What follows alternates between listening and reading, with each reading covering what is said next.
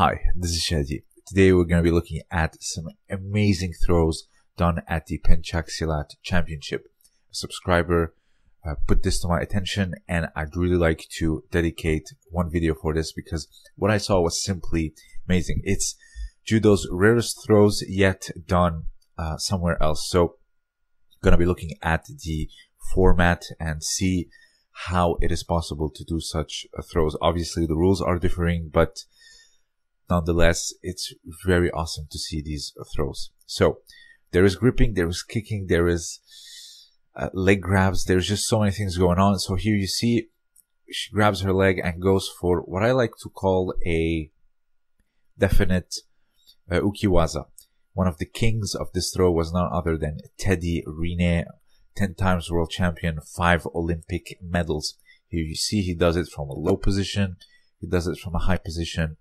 Here he accompanies Tushishvili to the edge of the mat and then throws him with it. He was brilliant with this technique. So it is a technique that's done in judo, but all the others to come, not so much.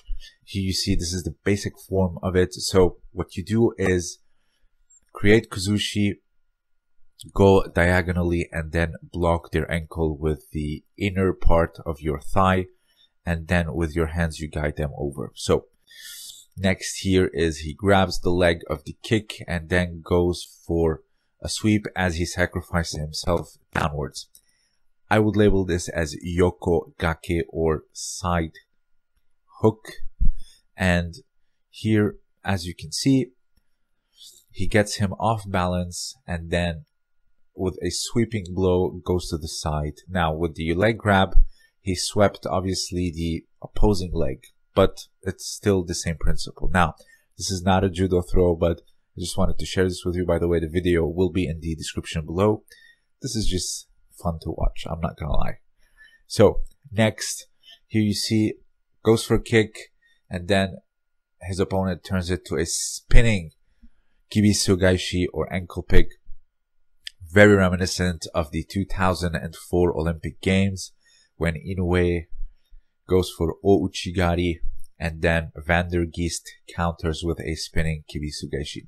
I want leg grabs to be back, and this for a particular reason. So, Kibisu Gaeshi, this is the basic form.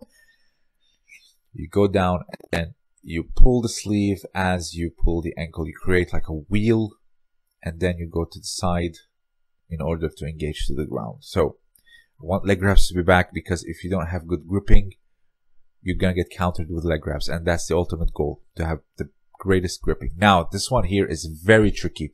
She goes for like a Yoko Otoshi, but her leg misses, and then it turns into like a Yoko Wakare. So, Yoko Otoshi, as you see, you grab, then you pull to the side, you hook the ankle with your thigh as you take them sideways, hence the name.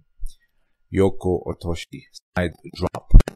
But what happened with that woman was her leg did not, was not able to hook the leg, so it ended up spinning, and then she ended up in this particular position, very similar to a Yoko Wakare. Now, this happens in judo all the time. You go for a throw, and then it ends up being something else, which is very normal.